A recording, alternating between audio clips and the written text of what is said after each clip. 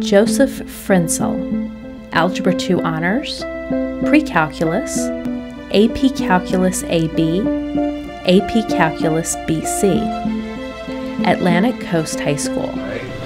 You need to look at this integral and compare it to this integral. Okay? Last time or the time before, what does this integral represent? Long time ago, um, I was in seventh grade in a pre-algebra class, and that was the first class in, of math that really fascinated me. Um, things in that class were very different than I had experienced in math classes before the seventh grade. So that was my first hook onto math. Um, but in general, I think everyone has something they're naturally good at. And for me, I was naturally good at school. So the combination of liking school and loving math um, just led me in the path of becoming a teacher.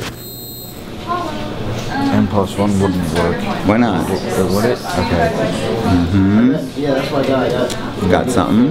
Plus C. There you go. I've been blessed to have a number of incredible teachers and professors over the years, and somewhere inside of me is all of them. Um, but I think everyone has gifts that they're born with, and I think one of mine is being able to take something that's complicated, like calculus, and make it understandable for kids. I've had Mr. Frencl now for two years, so it's definitely everything he does builds on each other, and it really it's hard for some people to understand math, but he makes it seem easier. Make yourself a flashcard for displacement, total distance, average velocity, average acceleration, average speed, future position. Um, math in general is a subject that people are often fearful of. And when they come into class, I do not want them to be fearful.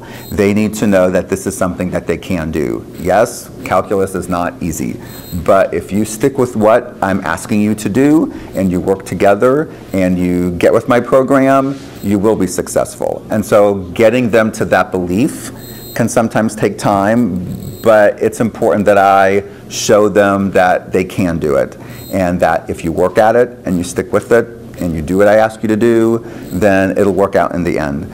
Um, in terms of you know the atmosphere in class, you know I want kids to smile. I want kids to talk about the math that they're learning.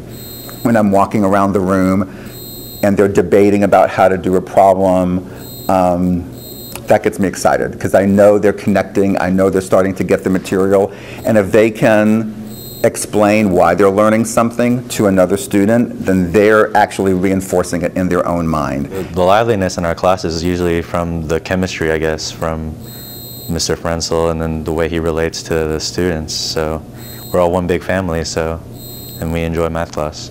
In class, it's not me as the teacher and them as the student. It's all of us together. Um, we're working as a team. We're working as a family, for lack of a better word. And I think when they see me as a teacher that way, it makes them immediately more comfortable in terms of being in this high level math environment. Um, they need to know that I'm there for them, um, whether it's academic stuff, school stuff, or even non-school stuff, you know, applying for colleges or dealing with family issues or whatever. They need to be comfortable enough if they want to come talk to me that they can. If they have a question about math, they need to feel comfortable asking me questions about math as well. So they need to see me as not just teacher, but as a person beyond teaching. So, which rocket is faster? This one. Which is rocket B. Okay, So you so say- explain that. So No, just say rocket B. All of this is all of this is good for your explanation. Well, when they leave my class, um, if I want them to remember anything about me, I guess would be a couple things. One, um, that I cared about them extremely. Two, that they learned. And, and I guess three things. Um, three, that they can leave this room knowing they have the tools to be successful in whatever math class they want to go forwards in. I mean, I've never had a kid come back and say, you didn't prepare me.